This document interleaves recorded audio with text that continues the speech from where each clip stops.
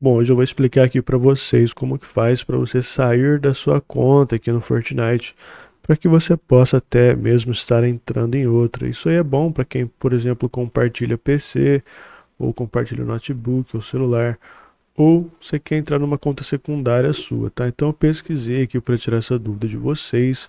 Então já deixa aquele like, se inscreve aí no canal para mais dicas e bora lá.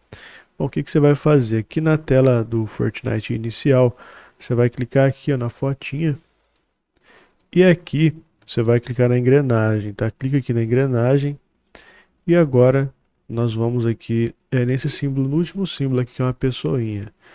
Aqui é, tem a opção conta, você vai vir aqui em sair e clicar aqui em sair. Aqui diz que faz logout do Fortnite nesta conta, então vai sair dessa conta e aí você vai ter que entrar em outra aí. Se você quiser voltar para essa depois, é só você fazer isso de novo. Beleza?